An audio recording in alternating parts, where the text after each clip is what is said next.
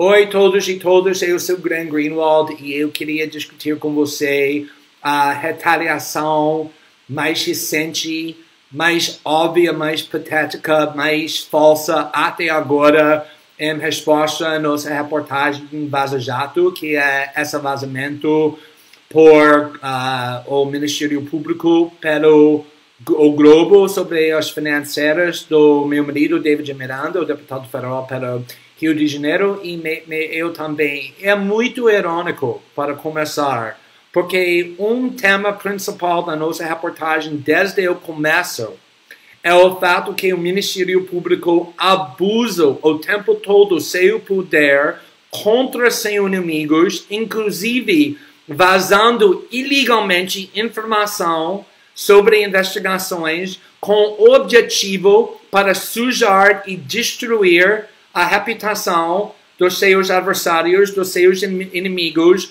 usando veículos da mídia como antagonista e Globo, que não são jornalistas, mas são parceiros. É exatamente o que eles fizeram nesta casa. Eu quero discutir isso com muito calma. Não quero que ninguém me acredite com fé, só com fatos. Mesmo o Globo, na primeira parágrafo deste vazamento, disse um relatório enviado para COAF ao Ministério Público do Rio, dois dias depois de o site de Brasil começar a divulgar mensagens sobre Lavo Jato. Eles fizeram isso dois dias depois.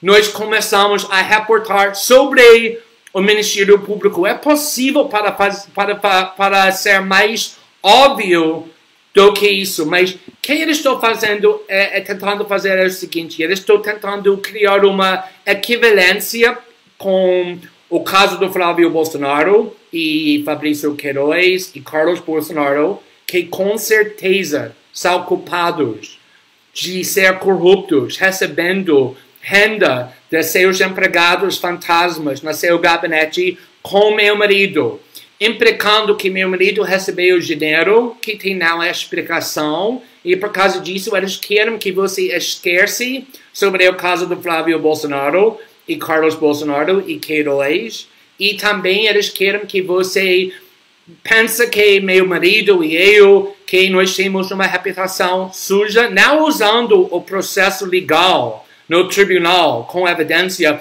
usando a tática covarde vazamentos ilegais, é ilegal e corrupto para procuradores no Ministério Público para vazar informação sobre a investigação exatamente como ela está fazendo, mas o problema grave para eles, neste caso, é muito fácil para responder.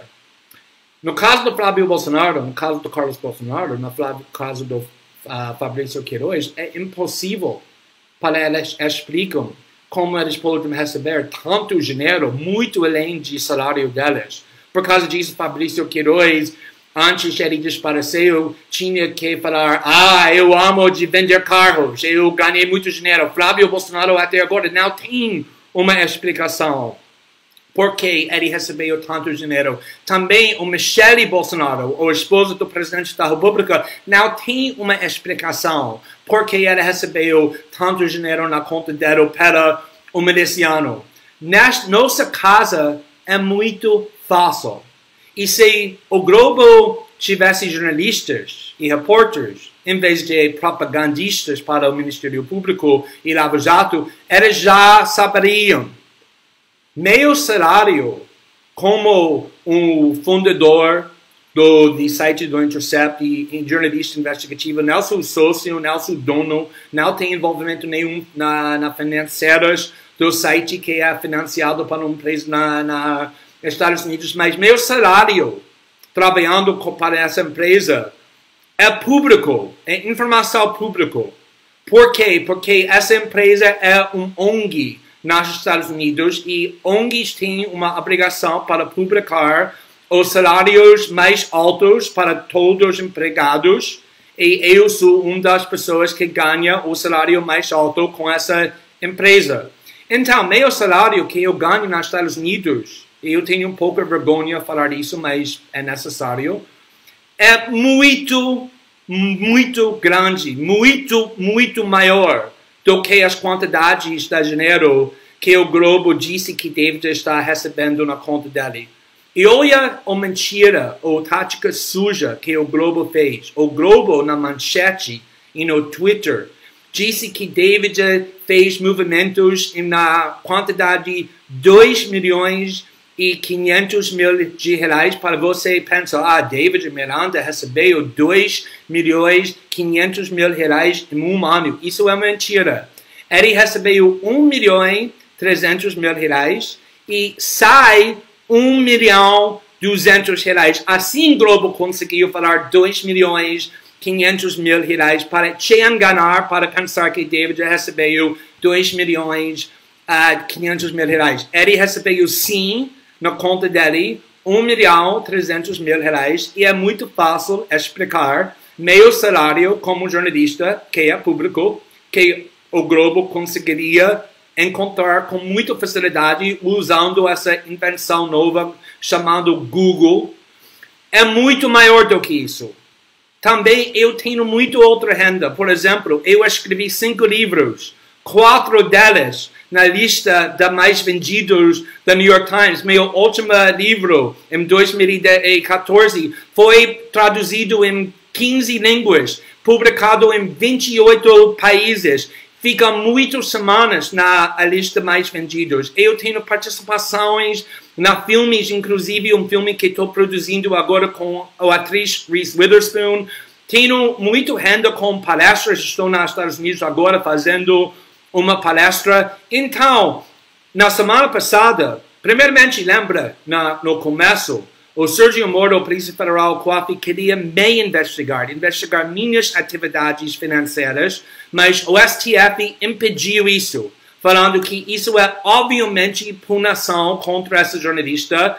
Então, eles mandou que essas investigações pararam, porque obviamente era uma violação da nossa liberdade da imprensa. Então, eles mudou o alvo para meu marido e agora estou fazendo para meu marido. Mas duas semanas atrás, duas semanas atrás, o Ministério Público no Rio de Janeiro pediu que um juiz quebre, quebrar o, o bancário sigilo do meu marido. E o juiz disse que eu não vou conceder esse pedido até ele tenha uma chance uma oportunidade para dar a documentação mostrando de origem desse dinheiro que nossos advogados estão fazendo agora. O Ministério Público sabe que eles vão perder. Eles sabem que é muito fácil como nós, que, que nós podemos provar de onde esse dinheiro vem. Eu ganho esse dinheiro nos Estados Unidos, nós transferimos todos os meses esse dinheiro para nossa conta bancário aqui no Brasil, porque nós moramos aqui no Brasil, pagamos todas as nossas contas com esse dinheiro. O David também ganha dinheiro como vereador, agora deputado federal, mas meu salário é muito maior. E é isso, esses movimentos financeiros que são atípicos sim, mas não ilícita em nenhuma forma. Então o Ministério Público sabe que eles vão perder, porque o juiz já disse, eu não vou uh, aceitar seu pedido até o David ter uma chance para dar as provas mostrando de onde esse dinheiro vem. Eles sabem que é muito fácil que a gente pode fazer isso. O Justiça vai emitir uma declaração mais tarde hoje falando exatamente onde você pode encontrar toda essa informação sobre meu salário, que, como eu disse, é público. Então, o que eles fizeram? Eles vazaram ilegalmente, no forma corrupto, para o globo, sabendo que o globo, como nossos inimigos, porque eles sempre queriam defender a Jato, estou sempre criticando o globo, que vai fazer exatamente o que o globo fez, um artigo cheio com mentiras para sujar a reputação do David e eu. Então, a única coisa que estou pedindo é que nós resolvemos tudo isso exatamente onde deve ser resolvido, não com basamentos na mídia sem evidência nenhuma, como o Ministério Público fez na parceira com Globo e antagonista, mas com evidência na tribunais com um juiz, que vai acontecer muito logo. Eu não vejo a hora para o juiz analisar toda essa evidência e concluir se David fizesse, se todo mundo sabe que Flávio Bolsonaro e Carlos Bolsonaro fizeram. David nunca recebeu nenhum centavo de nenhum empregado na gabinete dele. Ele não precisa disso, ele não quer isso. Lembra que David cresceu como um órfão no Jacarezinho. Ele estava ganhando muito mais dinheiro trabalhando comigo antes ele entrou política que ele fez para melhorar a cidade dele e o país dele. Então, não tem evidência nenhuma que ele fez nada, nada errado. E o Globo sabe disso, e por causa disso, eles não procuraram a informação que vai resolver tudo. Também o Ministério, o Ministério Público no Rio de Janeiro também sabe disso. Por causa disso, eles não queriam esperar para o processo judicial. Eles queriam usar vazamentos corruptos. Então, só espera para os fatos, espera para a evidência. David e eu somos muito tranquilos sobre todas essas questões. E além de sendo tranquilo, estamos muito uh, animados para revelar quem são os corruptos. A única corrupção nessa história são os agentes operadores dentro do Ministério Público que vazou informação que eles têm obrigação para manter o sigilo por motivos óbvios e políticos contra a lei contra o código de ético, exatamente como nós estamos fazendo com nossa reportagem, mostrando vocês que eles sempre fazem dentro do Ministério Público, dentro da Força Tarefa do Lava Jato, que o Sérgio Moro liderou. Isso é um exemplo perfeito como eles estão abusando seu poder e esse abuso do poder, essa corrupção tem que acabar. Nós já passamos por muitas ameaças, muitos ataques, quando David e eu trabalhamos juntos na casa do Snowden para os governos mais poderosos no mundo e nós ganhamos.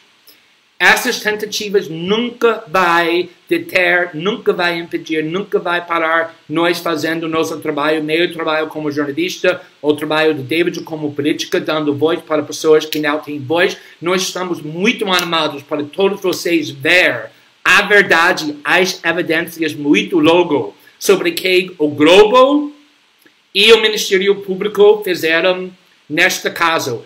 E como eu disse na Vaza Jato, qualquer política que fez esse crime recebendo dinheiro do emprega ou empregados fantasma no gabinete para a riqueza pessoal, como Flávio Bolsonaro fez, deveria ser preso, inclusive meu marido. Se tiver evidência que ele fez, mostra isso. Eu posso falar isso com tanta tranquilidade, porque eu sei exatamente de onde esse dinheiro vem e também eu sei exatamente quem são os corruptos neste caso. Não é David Miranda, é os procuradores no Ministério Público e os repórteres e editores do Glo Globo que publicou um artigo lixo exatamente porque eles queriam fazer isso. Então, qualquer outra dúvida qualquer outras perguntas, David vai ser entrevistado para vários veículos também. Eu vou estar. Nós queremos essa luta. Nós sabíamos que eles vão fazer exatamente disso antes nós começamos. Essa é uma parte da nossa luta. Estamos muito fortes, estamos muito prontos para isso, estamos muito tranquilos. E eu quero, como eu disse, que você não decida isso com fé, nem com ideologia, só com evidência e racionalidade. Até logo. Tchau. Muito obrigado por ouvindo.